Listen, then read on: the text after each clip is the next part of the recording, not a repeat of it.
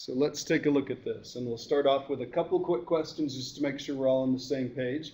Because one of the things that we're trying to emphasize in, in the new Common Core and some of the things uh, as far as what good mathematicians or good thinkers do is they're able to explain things. So there's a lot of vocabulary that we just kind of take for granted and we think, oh, well, everybody knows what that is, but we may not quite have the same terminology. We don't have to have real formal definitions, but in your own words, somebody raise their hand and tell us what an equation is.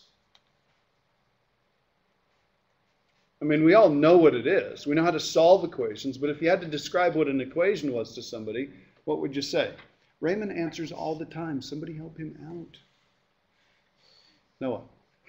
Um, set of numbers with variables that is used to solve a certain something. Okay, set of numbers with some variables that's used to solve things. Okay. What's what's the key word or the the key root in that word equation?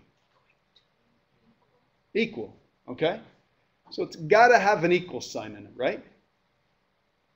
Okay. So we're going to say something like this. We're going to say two expressions set equal. And when we say expressions, we're usually talking about algebraic expressions. So we're talking about expressions with variables in them. That's what uh, Noah was talking about. So it's got some numbers, it's got some variables in it, and it's got to have an equal sign. It's got to say this, these two things need to be equal. So if we solve an equation, what does that mean we do? You solve an equation, what are we doing, Tammy?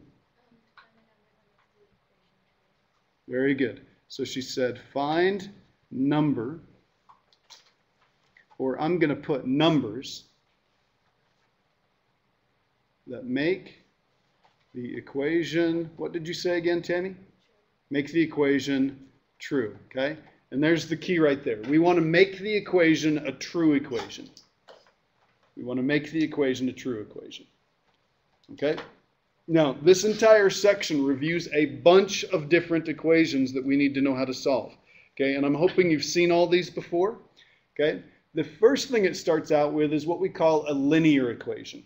Okay, so a linear equation, usually our favorite variable is an x. So usually has just a plain old x. Now, if it has a plain old m or a plain old y or a plain old t in it, we'd still call that a linear equation. Okay? So that means the highest degree is 1. It would be like x to the first or t to the first or m to the first or something like that. Okay, and then let's just run through. These are kind of like the rules of algebra. These are legal moves that we can make when solving an equation. Okay, so the first thing says blank one or both sides by combining terms, removing parentheses, etc. So if you combine terms, remove parentheses, if you do stuff like that, what are you doing? What would go in the blank here? Simplify. Okay, one of the best things you can do is simplify things to begin with. Okay, make it a little bit easier to read. Okay, then it says blank or subtract, blank or divide, both sides by the same quantity. Yep. Okay, so add or subtract, multiply or divide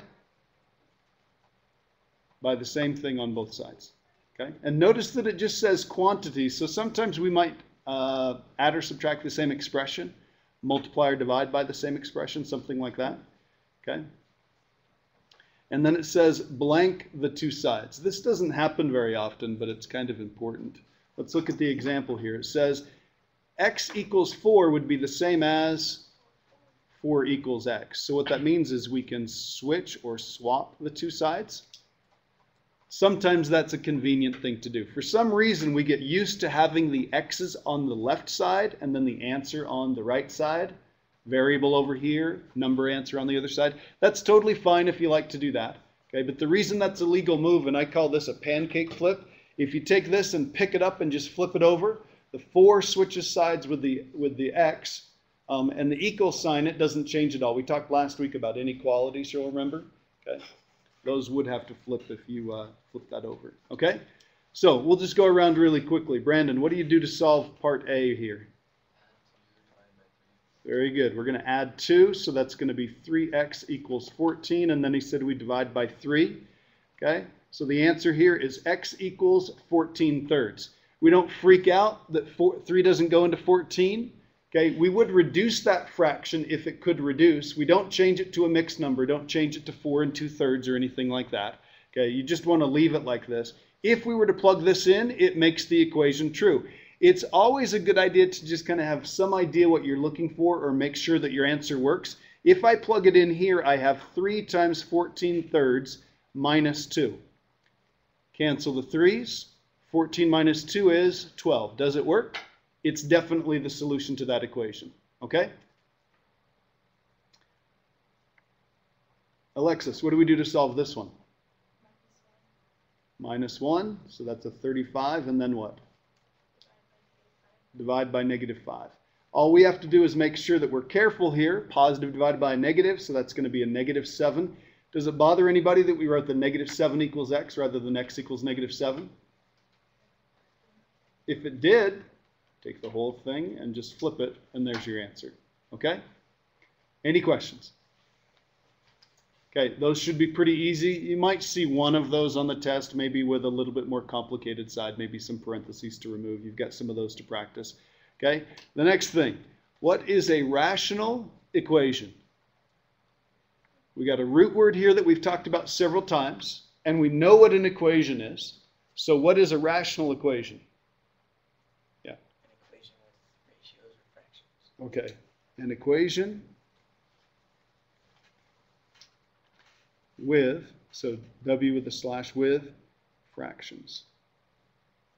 Okay, now here's the cool thing. We just wrote in P4 at the very end of that when we were solving that, that problem with uh, John and Michelle, we wrote a rational equation because it was an equation that had fractions in it. Okay? Now, the great part about this is, so I've got examples of rational equations. Okay? When you have a rational equation, you can do something to make it much, much simpler. Lynn? Find the common denominator for all of them. And, and what do you mean cross it out?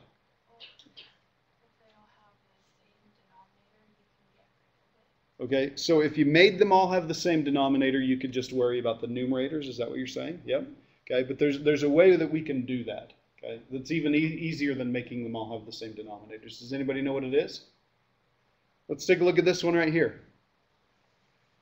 Okay, if I just had x minus 1 equals 1, that would be a piece of cake. I can solve that all day. It's the denominators that make that difficult. Okay, but what if I did this?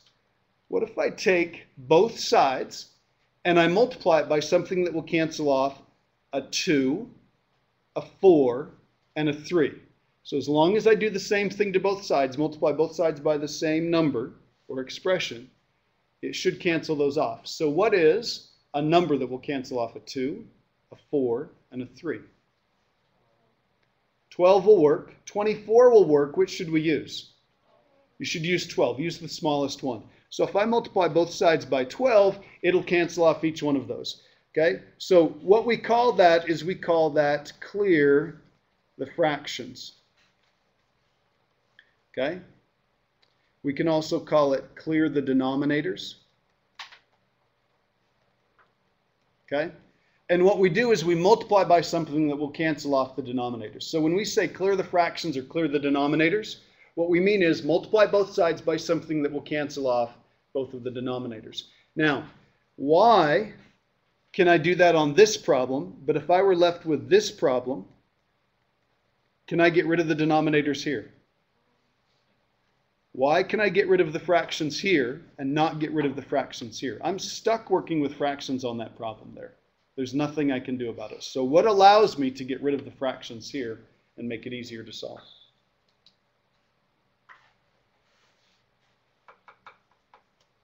Anybody know why you can do that? Why on this one do you have to get a common denominator? So I'd have to do 2x over 4 minus 1 over 4 and get 2x minus 1 over 4. That would be the answer there. I'm stuck with fractions. And on this one, I can multiply through and I get, let's see, the 2 would cancel with the 12. I'd get a 6x. The 4 would cancel with the 12, I'd have a minus 3. And the 3 would cancel with the 12, I'd end up with a 4. And now I've got this nice equation to solve here, a nice linear equation. What allows me to get rid of the fractions on this problem, but I can't get rid of the fractions here? Yes, Tammy. Mm, It does have to do with the one third. What separates the one third from these other two guys right here? The equals. Okay? What are we doing here? We're doing the same thing to both sides. So it's this property right here. The fact that as long as we do the same thing to both sides, in this case, multiply both sides by the same number, in this case 12, that's what allows me to get rid of the fractions. So if you're working with a problem with fractions in it that is an equation, you can get rid of the fractions. If it doesn't have an equal sign, you can't get rid of the fractions. So please don't mistake that. Don't multiply this one. Okay, if you were to do this, that's wrong. Okay? If you were to do this, that's still wrong. Okay? It's the fact that it's an equation that allows us to get rid of those fractions. Okay? And then the cool part is this. In one step, we've got an equation to solve that doesn't have any fractions in it. Every single term in the problem to begin with had a fraction in it. In one step, we've got an equation that doesn't have a fraction in it. So I add 3 to both sides. I get 6x equals 7. So I get uh, x equals 7, 6. And that right there is the answer. Okay? Okay, let's take a look at the next one. Ideas there?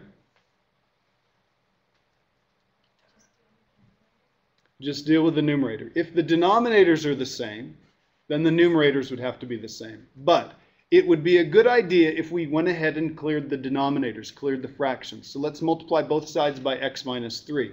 If I multiply this one by x minus 3, the x minus 3 cancels, so I'm just left with an x squared. If I multiply this one by an x minus 3, remember I'm doing the same thing to both sides, I end up with a 9. Now, how do I solve that? Huh. Take the square root. The easiest way to solve that is take the square root. Now, when you put a square root in a problem, what else do you have to put in there? Noah? Plus or minus. A plus or minus. So the answer here is x equals plus or minus 3. And if I plugged in a negative 3 and squared it, would I get the 9 that I need? Yes, I would. What about a positive 3? Yes, I would. Okay, now we're going to stare at this for just a second. And I'm hoping based on yesterday's and the day and last week's discussion on P4, somebody says, "Hey, wait a minute." Hop, are you going to say, "Hey, wait a minute"? Sure, he is. He is now, right? Raymond, are you going to say, "Hey, wait a minute"? Okay. Can somebody else say, "Hey, Mr. Lawes, there's something going on here," and tell us why there's something going on here? You want to try it, Tony?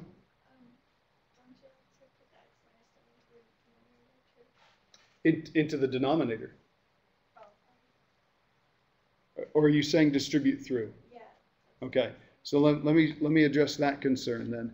If I were to multiply x minus 3 with x squared and put it over x minus 3, and then do the same thing on the other side, I can cancel that with that, and that with that, and there's my x squared here and my 9 here, okay? So that's okay. Jordan, what's, what's the issue here? Very good. Okay, excellent. Take a good look at this. Remember, there are three functions, three operations that typically have domain issues. You've got to be careful when you're working with them. What's the first one? Zero in the denominator of a fraction. Division. If you have division, you can't divide by zero. What's the next one? Even roots. Even roots. Division and even roots. What's the last one? Logarithms. Okay, we have division in these problems. You better be careful. Look at it at the very beginning. So before you even start solving it, look at it and say, you know what? I can tell you what wouldn't work. So let's look at this one right here. What could x definitely not be? It can't be 3. So do I keep both an- those answers or do I throw one of them out? I throw one of them out. The only answer on this one is negative 3. That's the only one that will work because 3 isn't in the domain of the original problem. Okay? Are there any questions about that? Yeah. So with that, the only way that you can notice that is by already taking out the domain or there? Yeah, you should look at it to begin with and figure out what the domain is, which is what we're gonna do on this one right here, okay? So we'll do this one and then we'll uh, maybe answer these last two questions if we have a second. So I'm gonna change colors here so we don't get confused. Can you tell me what numbers, in no way, no world would they work in this equation? Okay, uh, zero and, I heard the other one, negative one, okay? Those two won't work. So we know that from the beginning, okay?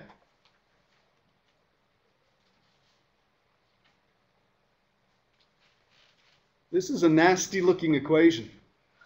What makes it really ugly is the denominators. So I need to multiply by something that will cancel off an x, an x plus 1, an x plus 1, and an x.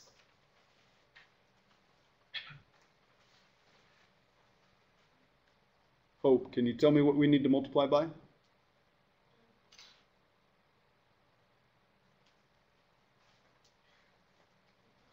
Okay. We do need an x minus 1. We're going to definitely have to multiply by x minus 1. Brandon, can you tell us what else we'll need to multiply by? An x. Okay? I have to cancel off an x, so I better multiply by an x. I have to cancel off an x plus 1. Whoops, sorry. x plus 1. Is that better? All right, sorry about that. Okay? I have to cancel off an x plus 1, so I better multiply by an x plus 1. Do I need another one? Like, do I need to square this? No, because it's going to get distributed through to each term, so that's enough. And do I need another x? Nope, one of them's enough. Okay, this would be called the least common multiple of the denominators. Okay, so that's going to do it. So let's take this first one. If I multiply these two with this one right here, the x will cancel with the x. The x plus 1 will cancel with the x plus 1. What's left of this term once I multiply? Just an x. It's awesome. Okay, let's do the next one. Change colors here. The x plus 1 will cancel with the x plus 1. I'm left with 7x. Look how awesome this is. Okay? When I multiply here, what cancels? The x. So I'm left with 3 parentheses x plus 1. Make sure you put that in parentheses, and then that's something that you can solve. Okay? All right, we'll pick up right there tomorrow. Finish solving that. Please make sure you've read um, P5. We'll finish this. Did I answer your question? Did, did we get, was it 47?